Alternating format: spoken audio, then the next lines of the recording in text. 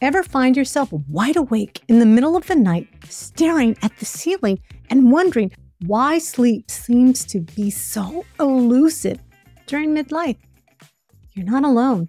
In today's episode, we're joined by Dr. Val Cacho, an integrative sleep medicine physician and women's sleep expert. We're tackling some of the biggest questions around sleep in midlife, like why it becomes harder to stay asleep how hormones play a role and why some of us might actually have undiagnosed sleep apnea. We're also talking about the common traps of using sleep aids and what you can do instead. So stay tuned because by the end of this episode, you'll have fresh insights and practical strategies to improve your sleep. Dr. Val, welcome to Create the Best Me. It is an honor to have you on the show. Thank you, Carmen, for having me. Such a pleasure to be here to talk to your audience about my favorite topic, sleep. A favorite topic for many of us who probably are not getting enough of it. Yes.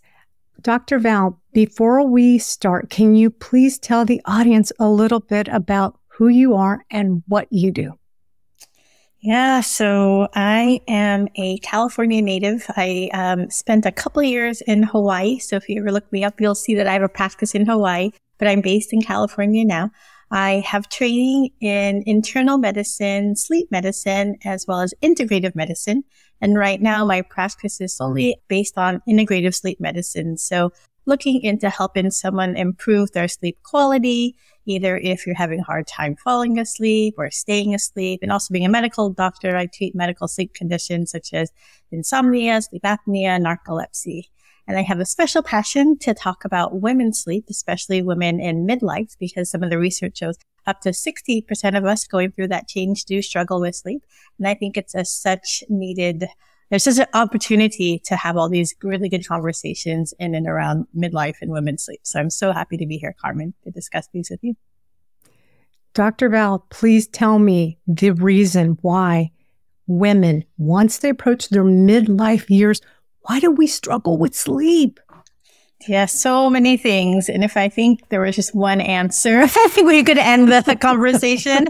but you know, women are a little bit more complex to begin with. The way I like to approach it is very holistically because I think it's nice to have a framework for things like this. So why do we struggle with sleep as we go through perimenopause, menopause, through midlife? Basically, I like to think about as the mind, body, and soul approach. So uh, a combination of these factors can impact your sleep quality. So first, right, your mind.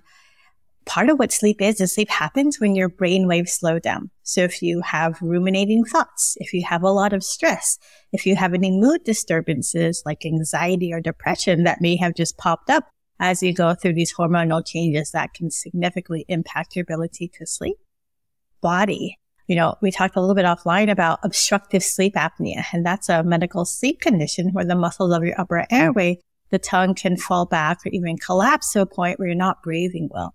Huge reason why women struggle with staying asleep, some of those early morning awakenings. As we're getting older, unfortunately, our body is also getting older. And when that happens, we can have more aches and pains. And if you're in the same position for too long, that can cause you to wake up. And then as we go through the change, our hormones are changing. I was looking at blog post recently and they're talking about how we shouldn't call estrogen and progesterone just sex hormones because they do so much more than that, right? There's, you know, estrogen receptors in all different parts of our bodies. So I would say maybe having these hormones fluctuate, these women hormones, especially as we go through the change, right? Estrogen lowers, which can lead to hot flashes, right? A body symptom that can wake you up. Also, progesterone lowers, and progesterone is known as the resting hormone. And, you know, if you take a supplement of progesterone, it can make you feel really, really sleepy. So as we go through the change, our sleep actually becomes lighter, less estrogen, less progesterone. We tend to be lighter sleepers. You know, maybe if it is hot, if we're having a hot flash or a dog barks, or maybe if our partner wakes up and go to the bathroom, we have a hard time going back to sleep or settling down because of some of those changes. And then the last part is the soul part, right? I know this is something that I really need to emphasize because sometimes it gets missed, you know, during a visit with your practitioner. with your doctor or your therapist, maybe. You know, some people have a hard time sleeping because they're in broken relationships. Maybe they're living with someone and they've just sort of feel like there are two ships passing in the same household. Maybe they're lonely. No, maybe, you know, gotten to a place in their life where, you know, their friends are just so busy with taking care of their families, you know, or their elderly parents, and that can impact it as well. And another thing to consider is, you know, as we get older, maybe we've had the same career forever and ever, and we want to do something different or, you know, sort of follow our passion project or, you know, go full time in that side hustle. And sometimes those thoughts about maybe feeling inadequate or scared or lacking the courage can keep us from sleeping well at night. So a whole host of reasons why women struggle more than just hormones, you know, where our bodies are a complete person, our mind, body, and soul are so interconnected. And so it really just takes some time to reflect on what potentially could be happening in one individual's life to help improve their sleep quality. Yeah. And you know, I never knew I had a sleep problem. Mm. I mean, when I was a single mom for it seems like most of my life. I didn't sleep much because I had children that were teenagers, and so I always slept lightly. But then 21 years later, I remarried. And as soon as I got married, I have no idea what happened. I got the best sleep of my life. Oh, I even had a baby, and I still got the best sleep of my life. And then one day, it stopped. Mm. And I found that I was suddenly waking up and could not figure out why am I waking up? And I asked, you know, my doctors would say, you need to reduce your stress. Mm. I have no stress. What am I stressed out about? I, you know, I have a good life. I'm not stressed out. My kids are good. My marriage is good. My child is good. My child that I had afterwards. And so I couldn't understand what it was. Yeah. And so that's why I brought that golden question up. You know, why is it that we hit midlife and mm-hmm. we struggle to sleep when the world around us might seem like everything's perfect, mm-hmm. Mm-hmm. but our sleep's not? Yeah, such a challenging thing. And if someone saw me in either Hawaii or California where I practice, I have a pretty extensive questionnaire and sometimes, you know, we are able to sort of glean through those questions and come up with the answers. And sometimes we can't. You know, we just take a look at what happens commonly mm-hmm. in some of the typical approaches to why someone has a hard time either falling asleep and staying asleep and sort of just go through the checklist, right? Okay. So maybe it's not stress. You know, could there be, is it the hormone changes, right? Or is it an environmental change that's happening? Sometimes diet actually can play a role, the composition of what you're actually eating. Are you exercising enough? Is it a circadian rhythm issue? Are you going to bed when you should be? Right now we have all these screens. Is that blue light impacting your ability to fall asleep or stay asleep? Yeah. So it's very challenging. And I think sometimes when I see different posts online and, you know, I want to be able to answer the question, but it, it really takes some digging to try to figure out, oh, this is probably more than a magnesium issue. And that's why you're not being able to fall asleep or stay asleep. So yeah. Yeah. I know one thing that brought to light that I wasn't getting any sleep or that I was restless was my jaw hurt. Oh, it's just yeah. I would I'd wake up and it's just like right here and up sometimes up to the top of my head. It would hurt. I'm like, what on earth am I doing at night? And then my older sister kind of mentioned that she had cracked a crown or mm. cracked a molar, needed a crown because yeah. she was clenching at night. And I thought, oh my goodness, I'm clenching. Why am I clenching?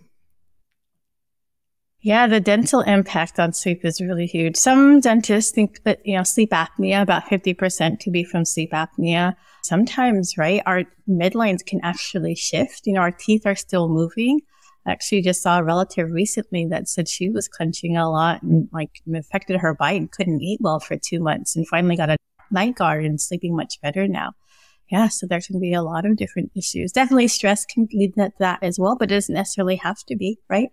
Changes in our bone structure, certainly our yeah. jaw can lead to that as well, unfortunately. Yeah. Yeah. Well, I went and saw my dentist, and my dentist recommended a night guard. And so she gave me a night guard. And if anything, it made it worse. And she also said, peel back your caffeine. And I said, I only drink one cup of coffee and mm-hmm. water throughout the rest of the day, and I don't drink alcohol.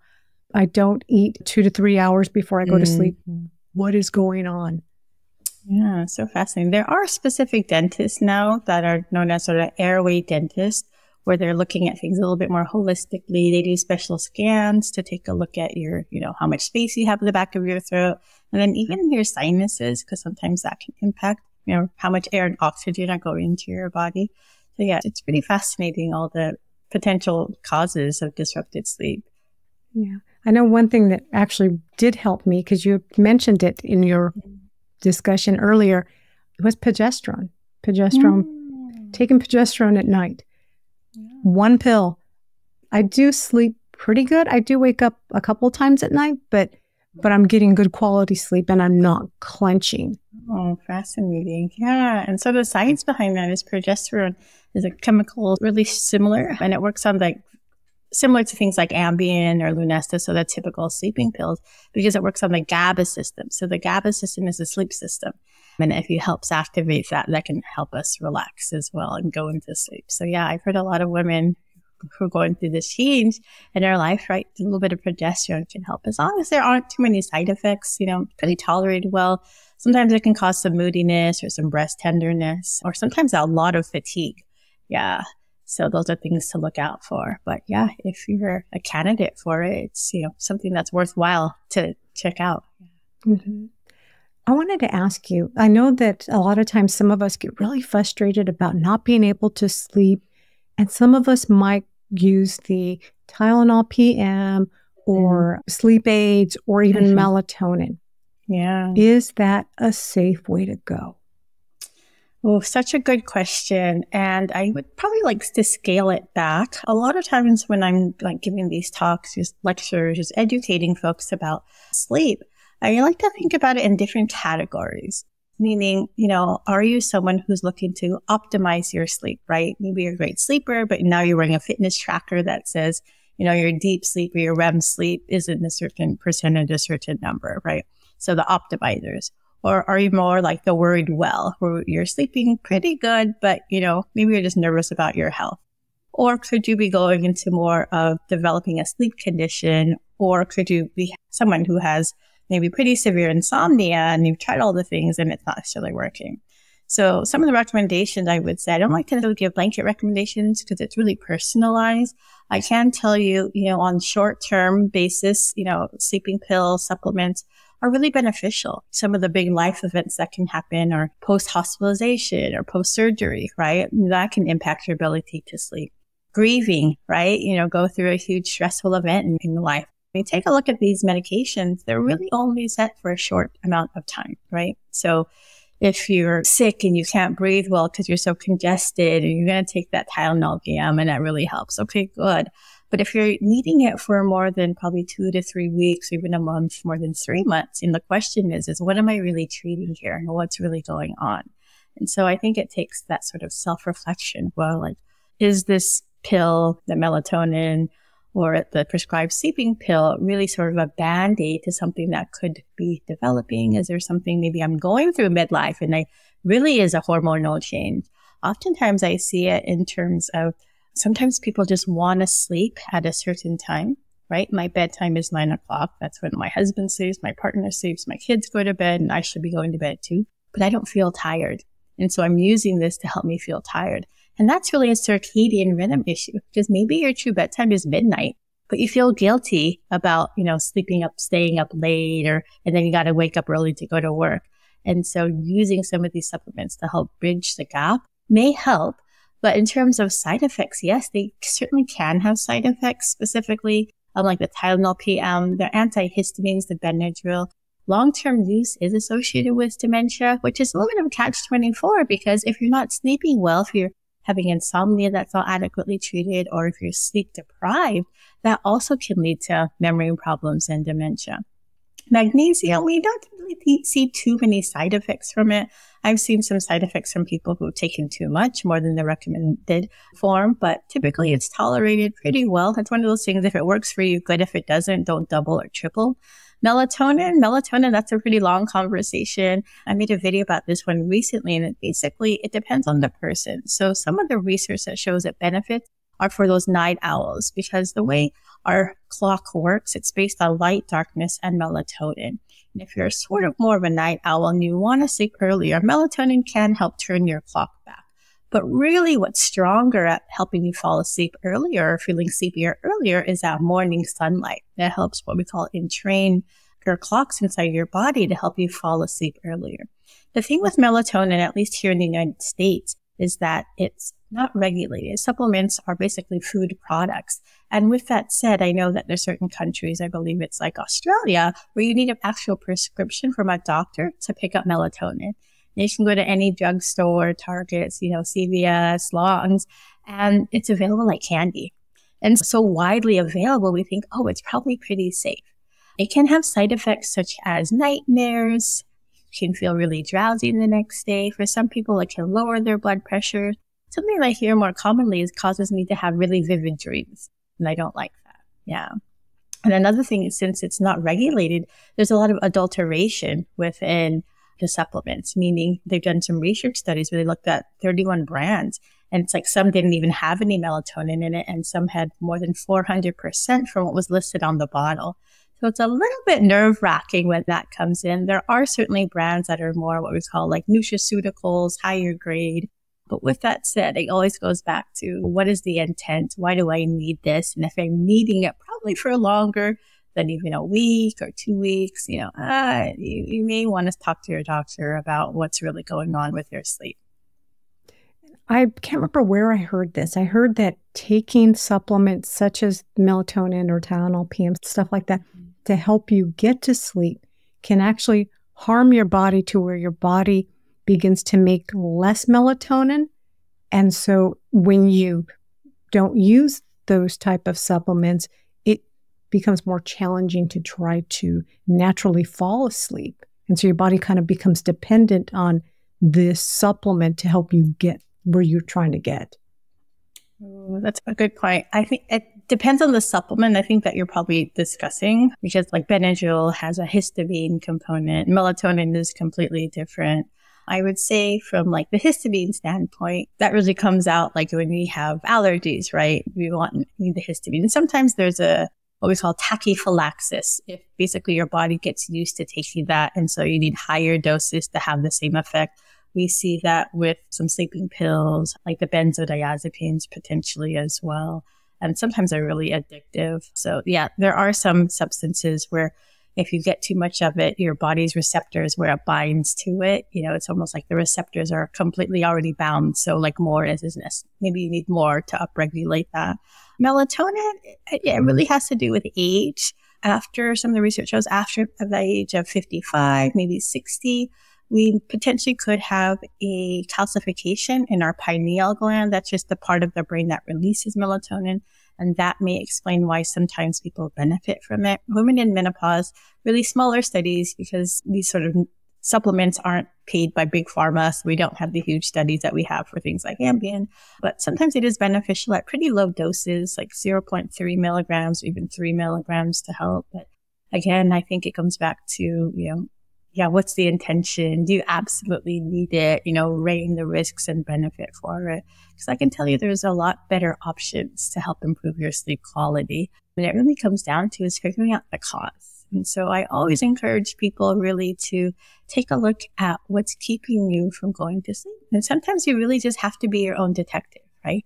You know, I have this post about all the reasons why women can't sleep. And then someone said, well, you know, you just sort of rambled on and on, but didn't give us any tips. And well, the tip is you got to figure it out for yourself because what happens maybe to your mother or your sister or your girlfriend, maybe that is contributing to your sleep as well, but there could be a whole host of other issues. And so it's now I always say it's never one size fits all. And that's why we don't have the silver bullet just to help put us to sleep because so many different pathways in our brains, right? Our mind, body, and soul are quite different from, you know, our best friends.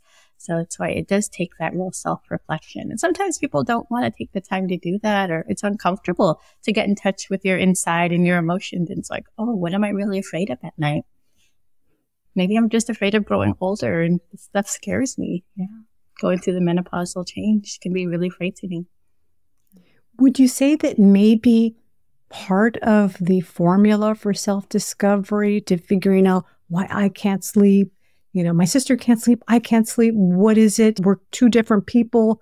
Maybe journaling everything I do as I start to unwind. You know, mm-hmm. I ate this, I drank that, and maybe even the time that I did either consume certain things or either internally or through the eyes, you know, whatever oh, it is I'm sure. consuming. Yes, definitely. Maybe tracking that for about a month. Yeah, I definitely do. I think that would be beneficial. So if you, you ever work with a dietitian, if you're interested in losing weight or gaining weight or changing up your nutrition habits, right? They're going to ask you what your food diary is. And so similarly, you know, for our patients who have insomnia, we do want to have a baseline sleep diary. A month could be helpful. I think two weeks is pretty adequate if you're sort of a pretty regimented person. But yeah, maybe if you're traveling a lot, if your schedule is a little bit all over the place, more data could be helpful. One thing to keep in mind is I like to do this not too close to bedtime, right? Because sometimes if you do write or journal too close to bedtime, it can be stimulating. And really, we want to wind down the last half hour, the last hour of the day. So maybe when you wake up in the morning, or maybe right after lunch or after dinner, you know, like to anchor it with something that we do regularly. It just takes some time to reflect on, okay, when was my last caffeine? When did I drink alcohol last? Did I exercise today? Did I take any medications? How was my stress level? And there's certainly trackers online that you can use, but I'm a big fan of, you know, sort of the old school paper and pencil. You can do that as well. Yeah. Mm-hmm. I mean, because I know the reason why I said a month was because I know that when I've done like eating diaries, mm. I, when I'm keeping track, I'm a real good girl. Yeah. and, I, and I'm doing exactly what I need to do. But right. then when I'm not keeping track, I tend to fall yeah. off the wagon. And so yeah. some things could fall through the cracks. That's why I brought up the whole month. Thing. Yeah, no, that's a good point. Honestly, it's a good way to keep yourself accountable. I know when I do some food tracking, if I'm really strict about writing everything down, I'm actually going to not want to eat as much because I don't want to have to type in all these things that I actually potentially eat. So it's a lot easier to do a food diary if I'm at home rather than, you know, going to a buffet, you know, with a family at an event. Yeah, for yeah. sure and doing things like in the morning, sometimes, I don't know, it's just like I do things subconsciously sometimes that I mm. don't even realize I do things. And so if I did it like in the morning, reflected on what I did the night before, I may forget things. Yeah. Because some of the stuff is just second nature. I just, this is what I do. Exactly. And so I think this is the whole idea, right? It's, you know, it's your life's journey. You know, figure out what works best for you, the timing of your journaling, right? The foods that mm-hmm. you're eating, the things I think you mentioned, the things that we're consuming throughout our mind. Oftentimes, you know, I do see a lot of women struggling with sleep because we've never given ourselves the opportunity to sit down and downshift, right? I actually heard this on a podcast analogy is can you park a car going 70 miles an hour? Sort of similar analogy to sleep. And if you've sort of been driving on the highway all day long and by the time you get home and your head hits the pillow, you want to be asleep, but you've never given yourself to put your car and slow down, right? You never hit the brakes, right?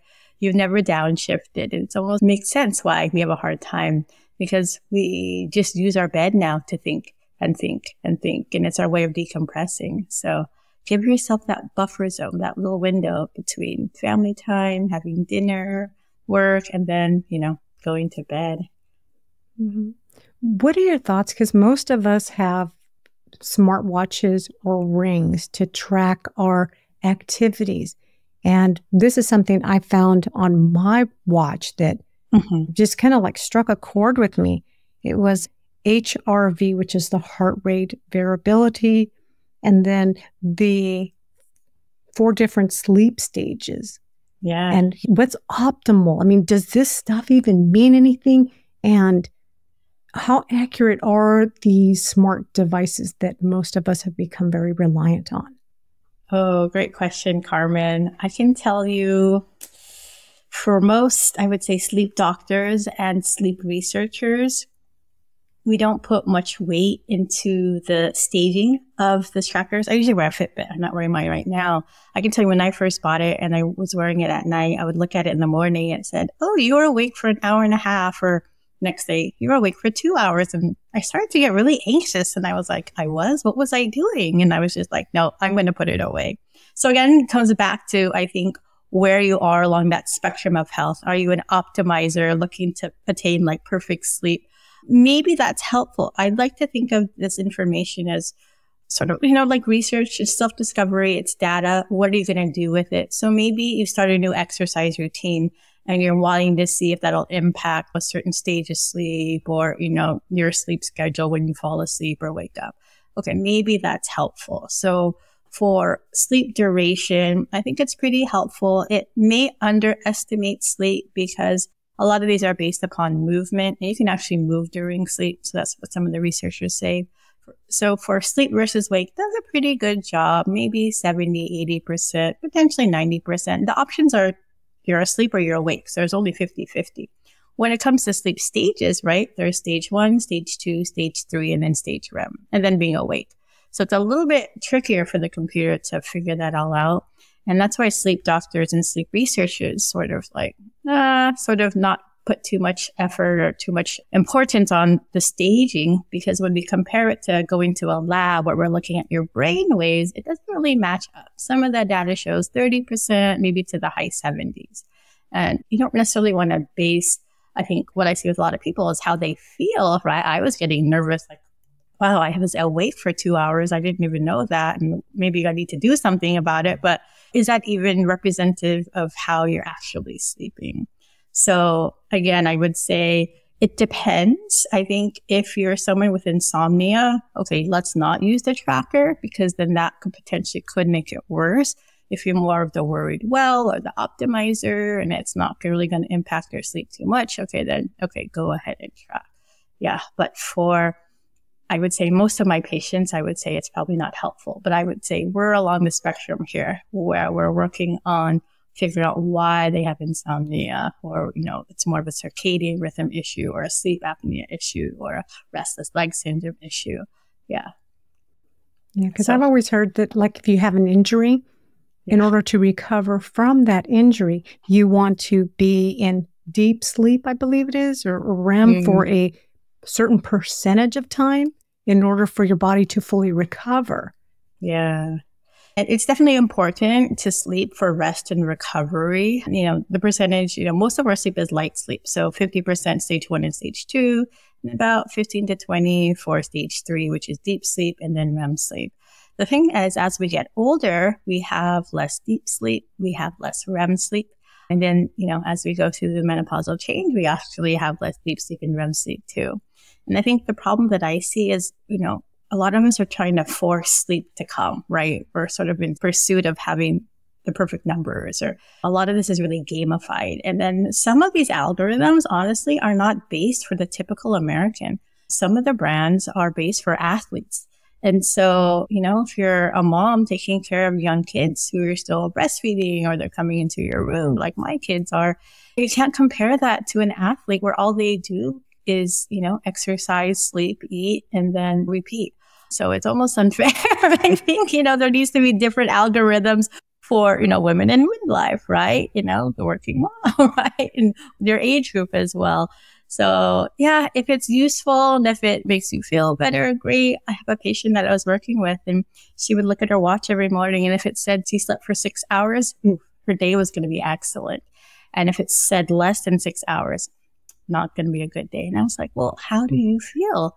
you know, what's your own subjective experience, right? Because you've got this great tracker in your brain, right? Yeah, your brain is working and it can synthesize all this information. She's like, no, it doesn't matter. I gotta six hours is my key. And I was like, oh shucks. so it was a little bit challenging, right? It's really fixated on, on the numbers. So how does a woman begin to accept or begin to see signs that maybe her sleep issue is related to sleep apnea? Oh, great question. So let's define sleep apnea first, right? Obstructive sleep apnea is a medical sleep condition when the muscles of the upper airway, typically it's the tongue, where the muscles more downstream, narrow and collapse. So if this happens from a sleep study five times an hour, then that's significant for obstructive sleep apnea. The common symptoms are snoring, gasping or choking, holding your breath, and then feeling tired. So that's sort of like how we're taught the textbook definition. Women, right? Um, we're just beautifully, wonderfully complex creatures, a little bit different. women can have difficulty staying asleep, insomnia, morning headaches, fatigue, mood disturbances, and that's their signs and symptoms of sleep apnea. And you can see how that can look like perimenopause, menopause. That can look like depression. That can look like thyroid issues. So some of the data shows up to 90% of women potentially could have obstructive sleep apnea go undiagnosed. And that's not necessarily a fault of their primary care physician, or maybe I think it's just our whole healthcare system has failed women because in medical school, we had, right, one or two lectures about menopause. We had maybe one or two lectures about sleep. And so some physicians just don't know what they don't know. And we're just sort of not realizing that it can be impacted. Yeah. I even had a lady talk to her cardiologist. She was having a lot of palpitations. And because she was younger, she had a low BMI. He was like, no way you could have sleep apnea. And she found the data herself, found me on her own. And I was like, oh, I'm sorry you had to go through that. That's just not right. And then she advocated for herself. We did a sleep study. Lo and behold, she did have sleep apnea. And so sometimes it really takes having these conversations in the public forum where we can express them because when you're at your doctor's office, they may really gaslight you and it's just, they don't really know. And I think another thing, and I mentioned this with a prior guest, is that if you don't fit the model, yeah, the model of someone who yeah. would suffer of sleep apnea, you're going to get overlooked because, yes. like you said, this woman was, you know, almost athletic looking. Mm, yep, exactly. Yeah. It's a problem definitely for a lot of us women. And at the same time, it's almost like how we're taught, right? We have these signs and symptoms that we look for and then we order diagnostic tests and then we attach either a surgery or a medication to that. And that's sort of like the Western model for care where it's not always so straightforward. You can't put everybody in this pretty little box, right? There's certainly mm. crossover. Yeah.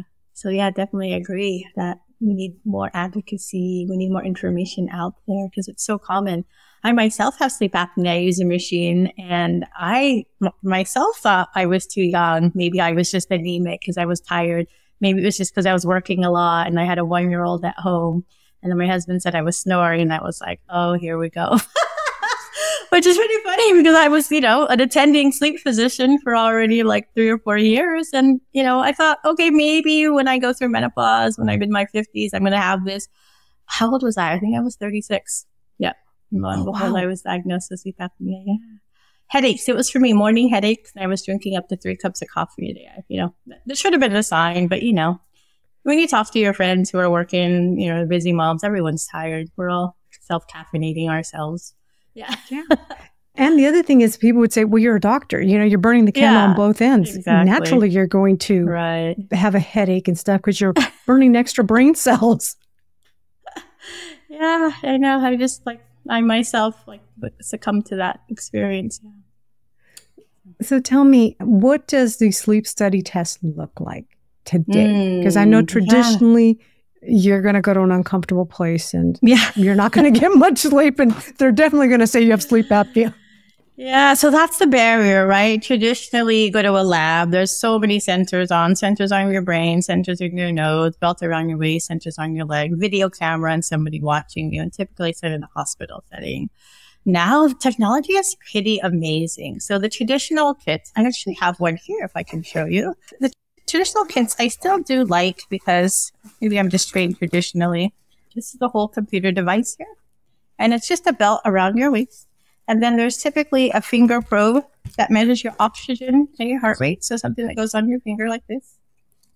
And then the nasal cannula in your nose. We're just watching your airflow and then your oxygen. Those are the two main components.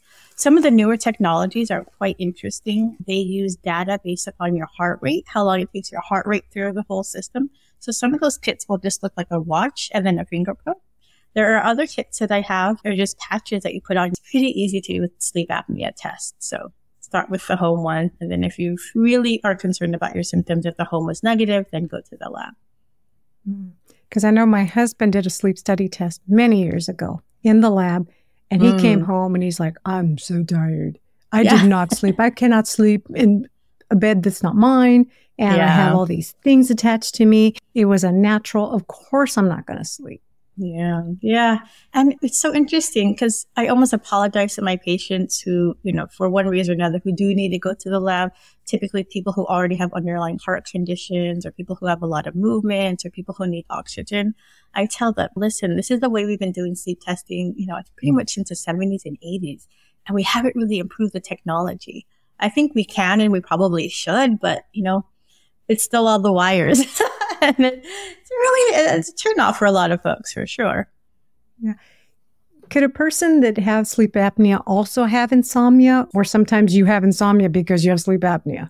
Yeah, great question, Carmen. So let's define insomnia: difficulty falling asleep or difficulty staying asleep.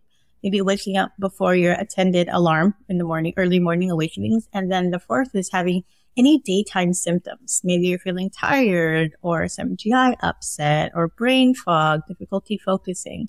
Yeah. So those are the sort of classic definitions for insomnia. If it happens more than three times a week, then that's like acute insomnia. If it happens for more than three months, three times a week, then we call that chronic insomnia. So if you have a hard time staying asleep and it's from sleep apnea untreated, then yes, once we treat the sleep apnea, that insomnia gets better. I do have folks who have sleep apnea already treated, but they also have a hard time falling asleep. So we can also break this out into sleep initiation insomnia, hard time falling asleep, and then sleep maintenance, having a hard time staying asleep. Yeah. So yes, the answer always is yes, yes, and yes.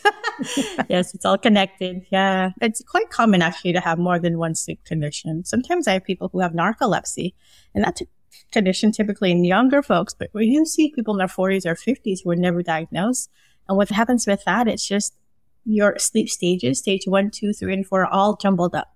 So regardless of how much sleep you get, you're still really, really tired.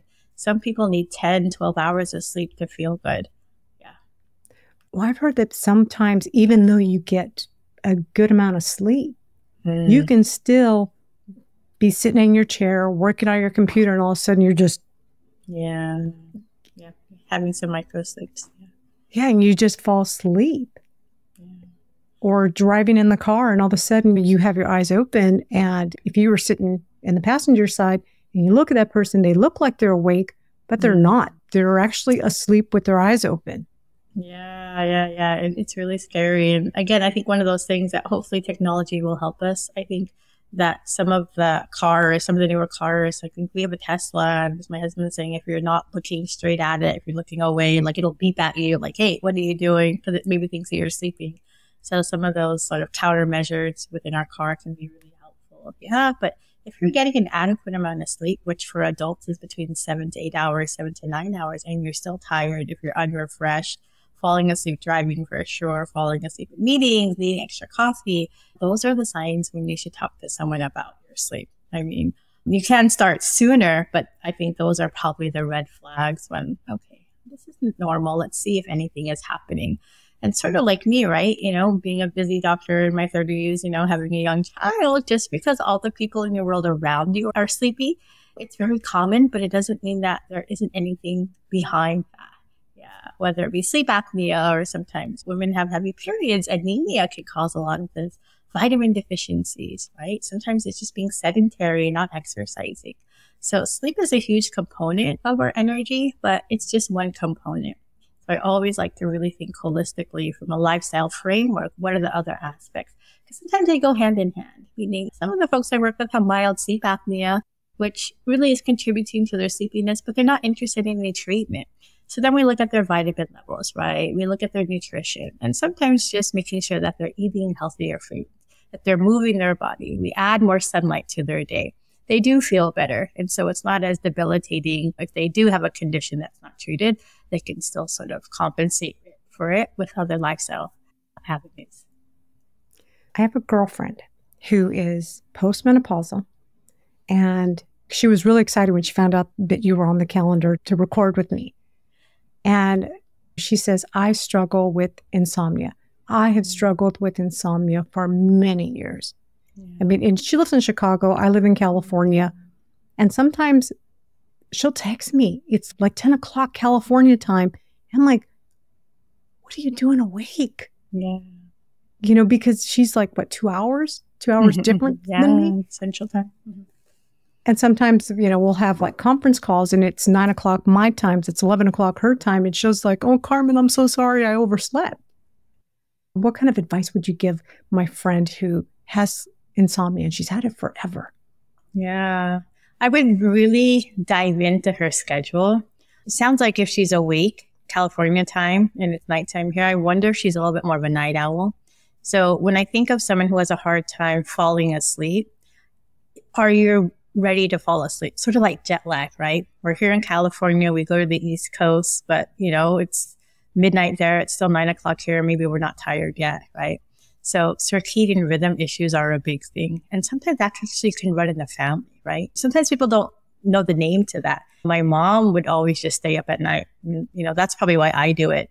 You know, yes, insomnia can run in the family, but I would see when the clock says 10 o'clock, are you sleepy? Or are you actually sleepy at three o'clock in the morning? And that's actually something I do see commonly. So are you having a hard time falling asleep because A, you're not tired?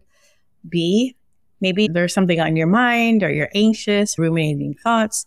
Or what I see oftentimes, right? You mentioned before, you know, I could figure out why I couldn't sleep. I didn't have any stress. Sometimes people just worry about their sleep, their ability to sleep, and they lose faith, they lose hope, and that keeps them from sleeping because then they think that they're broken, something is wrong with them. And then that worry spiral, right? Sleep happens when your brain waves slow down. And if you're worried only about your ability to go to sleep and stay asleep, that actually could keep you from sleeping. So I would say those are probably the top two things I would look at. Actually, I do have a good friend who's a sleep doctor who's excellent in Chicago. I can send you her information if she wants to connect with her. But yeah, I would just say, are you sleepy? When you're ready to go to sleep, because just like we have our hunger drive, we have our sleep drive, right? The longer you go without eating, the hungrier you are. The longer you go without sleeping, the sleepier you are. And then when you go to sleep, right? This is for our women who have a hard time staying asleep. Well, after a certain amount of sleep, right? Just after having a large meal, you're not as hungry. So sometimes that point is like four to six hours, typically about five hours. After about five hours of sleep, Maybe we have to wake up to go to the restroom and then we have a hard time falling back asleep. And that really gets us because I feel like maybe our parents were like, you got to sleep eight hours. You stay in your room. And that's at least what I tell my kids, right? You got to stay in your room. You're supposed to be asleep the whole night. And then we think again, man, something must be wrong with me, right? I only slept five hours. I got all these things to do. And we start to judge ourselves that, yeah, there's something off. And again, right? Putting more pressure on ourselves that we can't sleep. I'm a bad sleeper. I'm getting restless. I'm looking at my phone and it adds to it. I've been a light sleeper for the past couple of days, just for multiple reasons. I think it's still hot and I want it to be cooler and my kids been coming to my bed. I do my best not to look at my phone because, you know, your, your phone is just so many things. It's like your entertainment. It's like your work email. It's the news, social media. So I just try not to even look at that. And I just really like mindfully tell myself is I'll be able to fall back asleep. And even if I don't, that'll be okay. As long as I'm resting, I'll be fine. And if I am getting really upset, then really I encourage people what they do is just get out of bed. Just remove yourself from the bed because you don't want to associate with your bed with any frustrations, right? With any of those sort of self sabotaging thoughts, right? I've heard one of my friends, she's a, a sleep, uh, behavioral sleep doctor, Dr. Shelby. She just says, the hardest part is figuring out how to pass the time. And so I've been telling patients now, just get out of bed and go do something fun because you're going to get the opportunity again to sleep back tomorrow. Think of it almost as a gift, right? We all want more time in our day. You know, if you get an extra two or three hours, which, you know, you know, that time is at 3 a.m. instead of, you know, at 2, 3 p.m. or something. But what could you do with that extra time? Because if you do get out of bed and you start doing something, you may find that you will get sleepy again and then you can go back to sleep. But if you lay there getting mad and frustrated that you're not asleep, yeah, it, really sets off that cycle. And if it happens night after night after night after night, right, develop into a little bit of a habit where, all right, every time I wake up to go to the bathroom, it, I just can't go back asleep. And right, we habituate to the thoughts that spiral in our mind. Mm-hmm. Can someone who, like, let's say my friend does get sleepy at three o'clock, is mm. there any way that she can kind of self correct herself and maybe yeah. next week she's going to bed at two o'clock and then the following yeah. week at one o'clock? Yeah, definitely. So the habits that we have around bedtime are really important. Taking a look at what she's doing that last couple hours of her day. But the, also the biggest is to get that morning sunlight they were talking about because sunlight in the morning time tells melatonin to go away and it helps tell our brains that, okay, the next night we need to feel sleepier earlier. So I had a lot of patients who are sleepy at 3 or 4 or 5 a.m., which isn't conducive to their schedule. If you work night shift, you know, it's beautiful. Getting sunlight in the morning if you can, probably not in Chicago in the winter time to go outside. There's probably no light.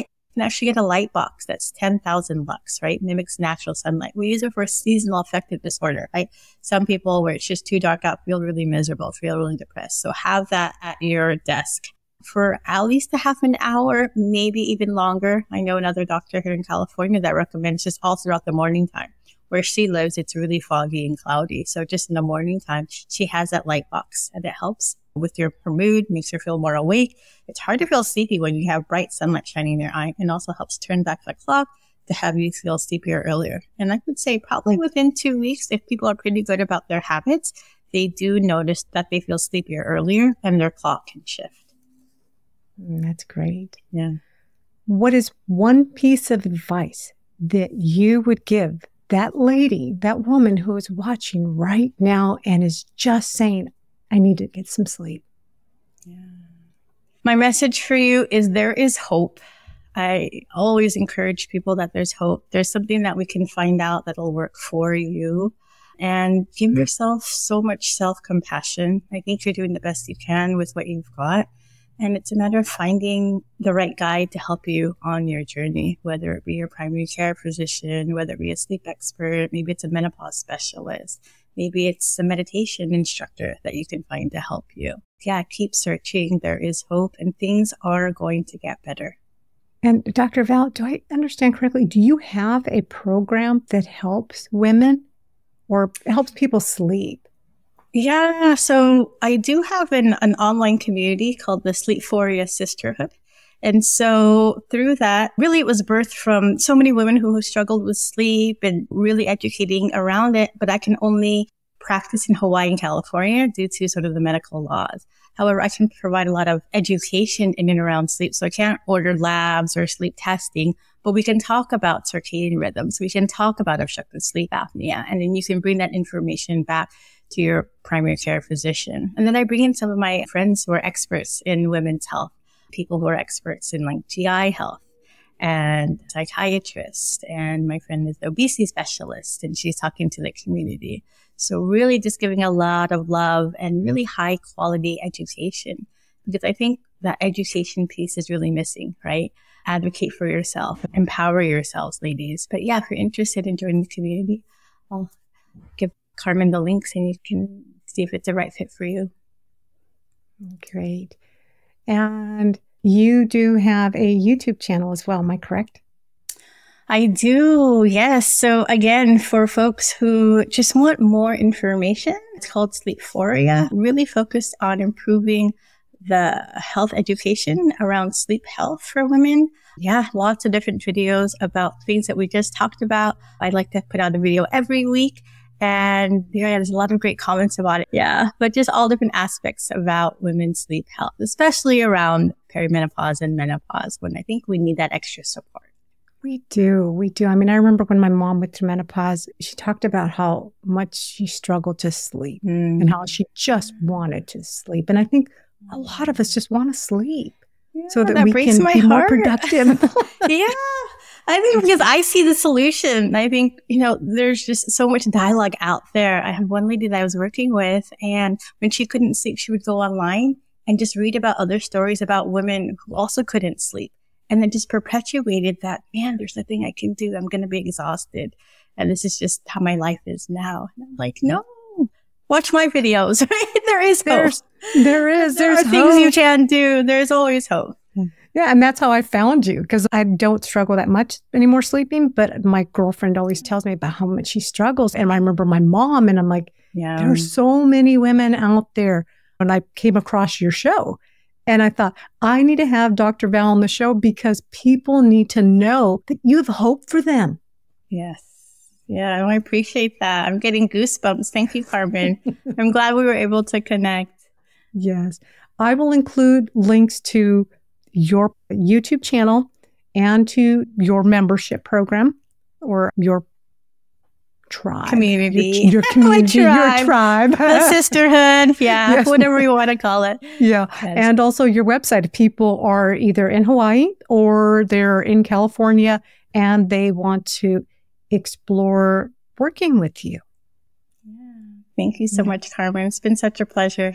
Likewise. Thank you. Wow, that was packed with so much valuable information. We explored everything from surprising reasons behind midlife insomnia to the importance of diagnosing potential sleep apnea.